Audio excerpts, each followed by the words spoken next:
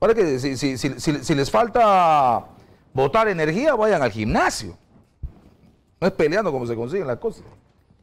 Estoy con Federico Pariona, congresista de Fuerza Popular. Está en línea conmigo y vamos a conversar sobre este nuevo avance de información, por cierto, de IDL, que da cuenta, lamentablemente, de coordinaciones para ataques al jefe de Estado. ¿Cómo está, congresista Pariona? Quiero saludarle. Muy buenos días, bienvenido, exitosa. ¿Cómo está? Buenos días, Manuel. Qué gusto saludarle, congresista. Bueno, mirando un poco las coordinaciones que se hacía a través de la botica, y la verdad que la botica, no sé, pero las coordinaciones eran muy fuertes, ¿no? Los ataques ahora, o la, lo que se hacía para campaña contra el presidente, expresiones como de Milagro Salazar, como decirle malnacido y traidor al presidente de la República, ¿no? ¿Qué le parece a usted? mira, este, Manuel, en primer lugar, eh, ¿quién no tiene una conversación interna? Yo creo que este partimos de eso. O sea, en realidad yo no, mm, en realidad eh, una conversación interna de alguna manera es este eh, mm, no, no tiene mucha importancia, pero bueno, este lo que acá IDL, este, si bien es cierto, ha hecho público, a mí también me sorprende. IDL, ¿Qué le sorprende? ¿Perdón? ¿Qué le sorprende?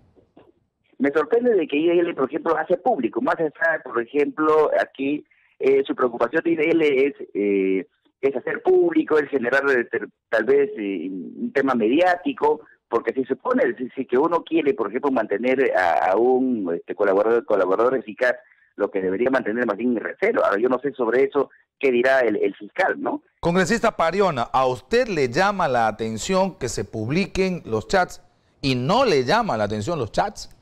O sea, a usted le llama la atención que IDL publique lo que ha publicado, pero no le llama la atención el contenido de los diálogos. Porque los diálogos son duros. O sea, oh, es verdad que es un diálogo de chat privado, pero en ese chat privado están articulando una campaña donde el presidente de la República poco más es Lucifer. Eh, yo te aseguro que todos en una conversación interna eh, tienen eh, muchas cosas que a, otras personas no le va a parecer, no le va a gustar. Pero bueno, ya eh, este es un tema que ya se ha ya, ya hecho público, IDL, por eso ahora hay que pensar por qué IDL hace público también, porque si bien es cierto, debe, debe, debe uno quiere con este eh, cuidar, por ejemplo, al colaborador eficaz y el no debería hacerse público, porque mm. la idea es que se investigue, la idea es que el fiscal de la nación... Eh, usted usted usted me insiste usted me insiste en mirar al mensajero, no el mensaje, ¿verdad? Ahora me parece en todo caso diferentes los puntos de vista. Yo nunca miro el mensajero, hay que mirar el mensaje. El mensajero puede haber sido IDL o puede haber sido Perico Los Palotes. El asunto es que hay una eh, conversación, hay un diálogo, hay un chat en el que se coordina. En primer lugar, ataques contra el fiscal José Domingo Pérez en un momento determinado y luego este ahora contra Vizcarra. Esto era común en Fuerza Popular. Se coordinaban a través de chats la campaña de desprestigio para determinadas personas. ¿Sabes qué más este, me preocupa? Eh, y ya aún todavía ya tengo no tengo este, ya credibilidad con con esta este, con IDL porque IDL es proveedor del Estado.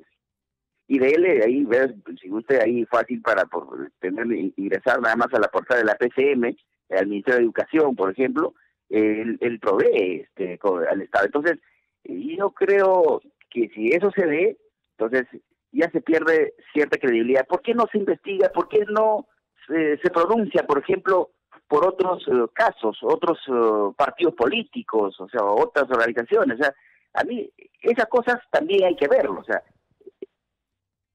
Ok.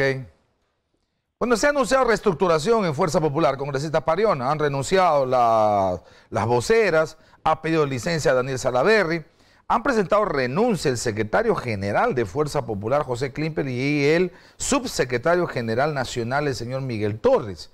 Eh, ¿Sabe usted algo de cómo se va a dar esta reestructuración? ¿Se va a llamar a hacer nuevas elecciones internas para estos, estos cargos? Sí, bueno, nosotros estamos en semana de representación.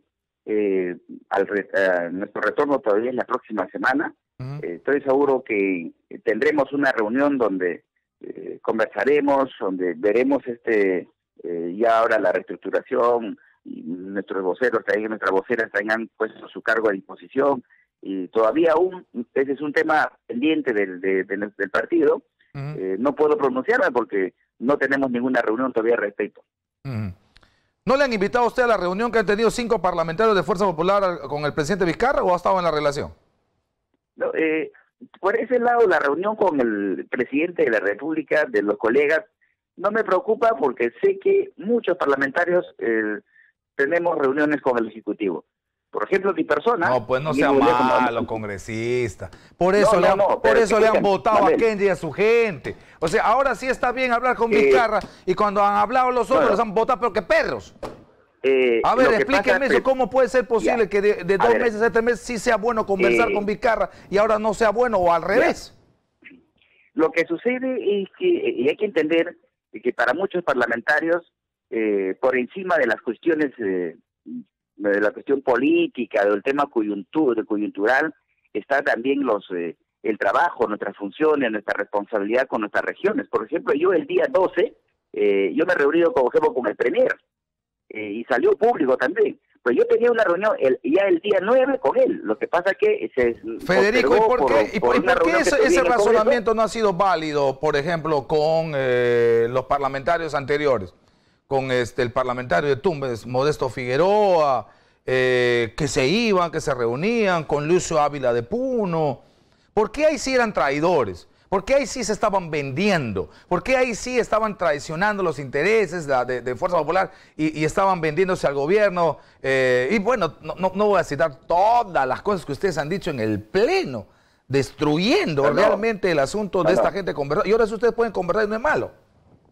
Es que lo que estamos confundiendo. En esos mm. tiempos eh, salieron los videos había otro tipo de conversaciones y, bueno, todo el mundo lo sabemos qué cosas se decían en los videos y eso es lo que realmente ha generado toda una confianza con aquellos colegas. Pero si, si, si eso eh, en estas reuniones no se, no se dan, es más, el mismo presidente de la República lo ha dicho de que nosotros hemos tenido otras reuniones.